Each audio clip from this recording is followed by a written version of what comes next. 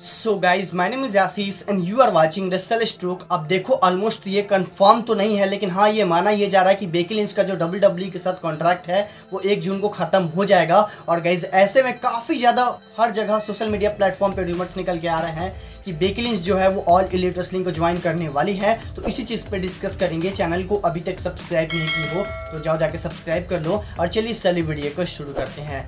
अब देखो गाइज़ आपको तो पता होगा कि इस वीक के मंडे नाइट रॉक के एपिसोड में हमें स्टील केज मैच देखने को मिलता है। स्टील केज मैच को समहाउ जैसे तैसे करके बेकिलिंच इस वाले मैच को हार जाती हैं। लिव मॉर्गन अपना वुमेंस वर्ल्ड चैंपियनशिप को रिटेन कर लेती हैं। और गाइज़ काफ़ी सारे अपडेट का ये कहना है कि जो जून का फ़र्स्ट जून होने वाला है, उसी में बेकिलिंस का जो डब्ल्यू डब्ल्यू के साथ कॉन्ट्रैक्ट है, वो ख़त्म हो जाएगा। अभी तक उन्होंने कोई भी कॉन्ट्रैक्ट साइन नहीं किया है। और जो डब्ल्यू के साथ जो पास्ट में उन्होंने कॉन्ट्रैक्ट साइन किया था लास्ट मैच वही उनका स्टील केज मैच था, जो कि हमें मंडे नाइट रॉ के एपिसोड में देखने को मिला। यानी कि आप ये बोल सकते हो कि जो लास्ट कॉन्ट्रैक्ट के साथ उनका लास्ट मैच था, वो भी खत्म हो चुका है। ट्विटर पर ट्वीट करके ये बता है कि टू बी कंटिन्यू यानी कि ये चीज़ कंटिन्यू होने वाला है। अभी तक र्यूमर्स काफ़ी ज़्यादा निकल के आ रहे हैं कि बेकिलिंच कहीं और जा सकती हैं। हो सकता है कि उनका next home All Elite Wrestling हो सकता है। फाइटफुल सेलेक्ट का ये कहना है कि बेकी लिंच ने अभी तक डब्ल्यू डब्ल्यू के साथ न्यू कॉन्ट्रैक्ट साइन नहीं किया है। मे बी अगर उन्होंने न्यू कॉन्ट्रैक्ट साइन नहीं किया होगा तो ऐसे में र्यूमर्स निकल के आ रहे हैं कि बेकी लिंच में भी